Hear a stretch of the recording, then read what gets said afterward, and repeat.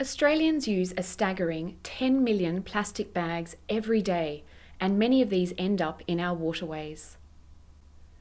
Our marine environment has become so polluted with plastic that even a three week old green turtle hatchling has already ingested the deadly materials, mistaking it for jellyfish.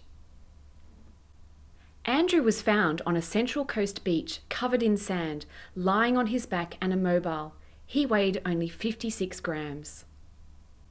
The tiny hatchling was brought to Taronga Zoo's Wildlife Hospital and treated for plastic ingestion and bite injuries to his rear flipper. When Andrew came in, he was found on a beach upside down and in pretty weak condition.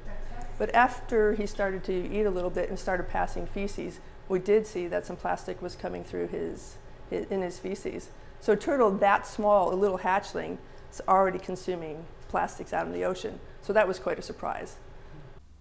After 16 months of care at Taronga, Andrew now weighs over 9 kilograms. He's graduated to this deep water tank in preparation for his release back to the wild. Unfortunately, we're seeing increasing incidents of marine debris, particularly plastic, in all the marine animals that we see at the Wildlife Hospital. So it's a, really sad thing. Australians have a love of plastic bags, which ends up in our waterways and in our oceans.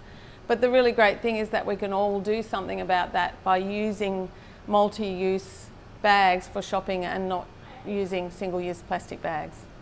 So when Andrew is released into the ocean, I'll be attaching a, a small satellite tracker to his carapace and we're hoping to monitor Andrew and see where he travels in the ocean. One of the mysteries about turtles is that no one knows where juvenile turtles go once they leave their nesting beaches. So we're hoping that Andrew can answer some of those questions for us. Today is a very exciting day. We're taking Andrew out and returning him to the wild, putting him in the ocean. So at Taronga we've done everything we possibly can to get him well and fit for his survival, but we really need your help.